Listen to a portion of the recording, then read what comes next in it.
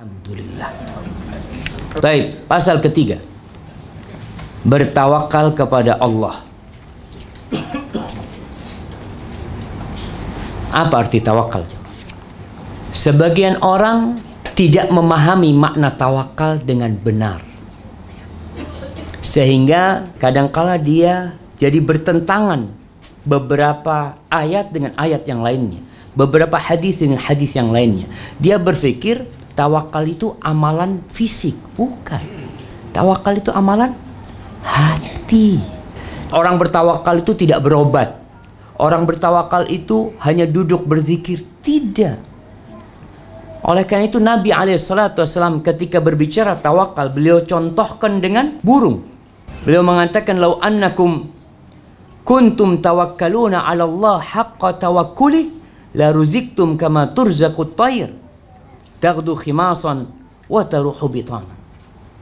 Beliau mengatakan alaihi salatu wassalam, sungguh seandainya kalian bertawakal kepada Allah sebenar-benarnya tawakal, niscaya kalian akan diberi rizki sebagaimana rizki burung-burung.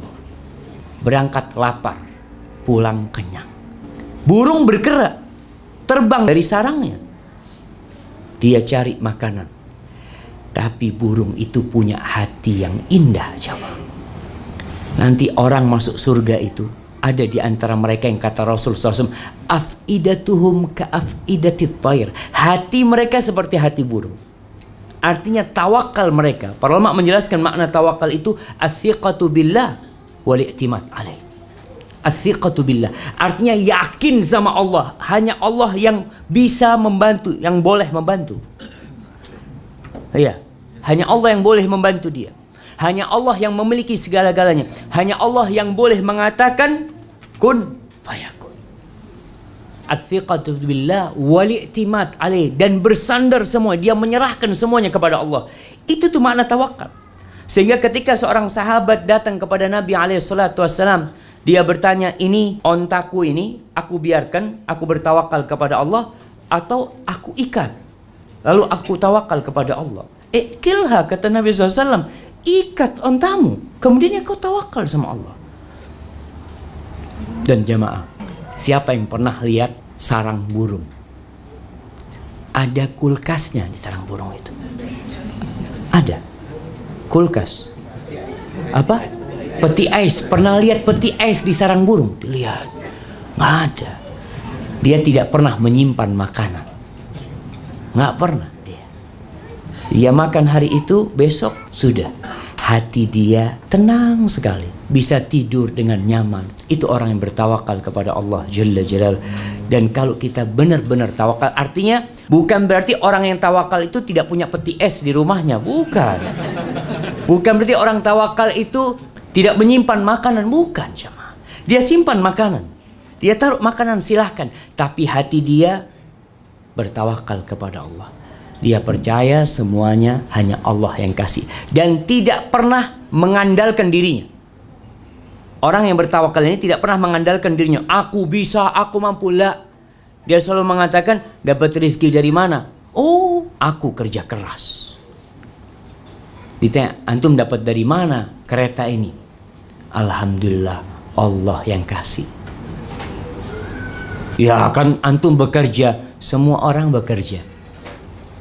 Tapi ada yang tidak bisa punya kereta, ada yang punya kereta. Siapa yang kasih? Allah. Di sini makna tawakal jemaah dan disebutkan oleh Syekh. Di sini firman Allah yang berada di surat Talak, sambungan dari ayat yang tadi.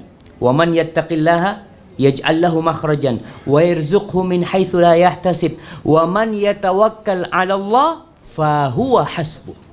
Barang siapa yang bertawakal kepada Allah, Allah yang akan mencukupi dia. Apa nggak enak kita jamaah? Ketika ada orang besar mengatakan urusan antum aneh ngurusi. Sudah. Ini Allah yang ngurusi. Rabbul Alamin. Allah sebutkan innallaha balighu amrih. Sesungguhnya Allah melaksanakan urusan yang dia kehendaki. Artinya terkadang kita perlu menanti jamaah. Terkadang sebagian orang mengatakan Ustadz anak udah tawakal Tapi kok rizki tak kunjung tiba Allah tidak pernah ingkar janji Antum nanti sebentar. Sekejap lagi Allah akan berikan Tapi manusia ini kata Allah wa khuliqal insanu ajula. Manusia itu makhluk yang tergesa-gesa. Semuanya kenapa ada makanan sekarang apa fast food? Fast food, iya. Fast food, makanan cepat, semuanya ingin cepat. Kenapa ada buri, klakson, apa namanya? Hon. Nah, ada hon itu. Kenapa ada itu? Semua ingin cepat-cepat. Manusia seperti itu, jemaah.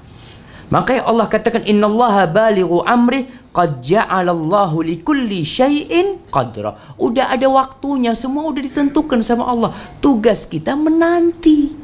Sehingga orang yang bertawakal itu menyerahkan semuanya kepada Allah lalu dia menanti. Jemaah rahimakumullah. Nah. Iya. Uh, konsep tawakal tadi ni perlu kita usaha dulu ke atau tawakal ataupun tawakal baru usaha? Sebab yang tadi hadis yang tadi itu mengatakan kamu ikat dulu kita baru berserah pada Allah. Tapi yang sebelumnya mengatakan kita serah dulu baru kita macam usaha. Iya. Jadi pertanyaannya tentang konsep tawakal. Tawakal ini di awal, di tengah, apa di akhir? Tawakal ini di tengah, di awal, di tengah, dan di akhir. Karena tawakal itu amalan hati. Artinya dalam hati kita, kita memiliki keyakinan kalau Allah itu yang bisa yang boleh melakukan segala-galanya. Sekarang kalau kita lihat orang sudah dia punya motorcycle, dia udah kunci. Tahu-tahu dia datang hilang motornya. Ada yang curi. Dia tidak akan menyalahkan siapa-siapa. Dia tidak, ya Allah, aku kan sudah kunci, ya Allah, kok hilang? Nggak ada. Jadi ketika orang keluar rumahnya, dia mengatakan Bismillah, tawakal tu Allah. Itu doa. Tapi sejatinya ketika dia di dalam rumah, dia juga tawakal. Ada orang yang duduk di rumahnya, terjadi gempa, runtuh rumahnya. Arti tawakal itu amalan hati yang selalu menemani dia. Tapi Rasul SAW ketika orang ini bertanya tentang diikat dulu atau tawakal. Maka Nabi jelaskan kepada dia, ya harus diikatlah. Artinya bentuk tawakal itu bukan berarti kita tidak beramal, tidak bekerja. Ketika antum mau usaha, kita mau buka kedai makan. Apa kita buka dulu atau tawakal?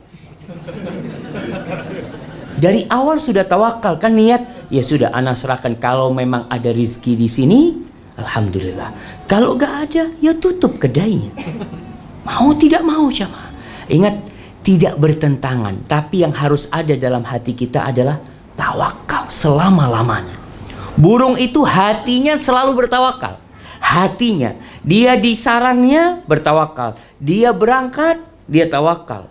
Sebagian burung tidak pulang ke sarangnya. Ada yang punya anak di sarangnya. Dia tidak pernah balik.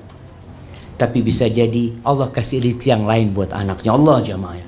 Kalau kita melihat kekuasaan Allah di ciptaan Allah ini berurusan dengan rizki, kita akan tenang. Pernah melihat kijang Kijang. Ketika melahirkan ada perawatnya. Ada dokternya, ini mau lahiran katanya. Enggak ada. Tahu-tahu keluar dan dia keluar dia bisa cari susu ibunya. Semuanya Allah jamaah. Maka ini membuat kita tawakal benar-benar innallaha ala kulli syai'in qadir. Innama amruhu idza arada syai'an ay yaqula lahu kun fayakun. Itu artinya tawakal. Usaha terus berjalan. Nabi Zakaria berapa tahun berdoa minta anak? Berapa tahun ya, Sampai umur 100 tahun. Nabi Zakaria minta anak. Tapi dia tidak pernah putus asa. Jadi ingat, tawakal itu maknanya percaya sama Allah, yakin sama Allah, kemudian menyerahkan semuanya kepada Allah. Dan tawakal ini amalan amalan hati tidak bertentangan orang sakit umpamanya berobat Rasul Shallallahu Alaihi Wasallam beliau berhijamah berbekam beliau berbekam beliau minum madu. Beliau berusaha ngobatin dirinya. Ketika beliau sakit parah di akhir hayatnya beliau istirahat di atas ranjangnya. Terus beliau mandi dengan air dari tujuh kirbah. Beliau berusaha untuk mengobatin dirinya sallallahu alaihi wasallam dan itu tidak bertentangan dengan tawakal.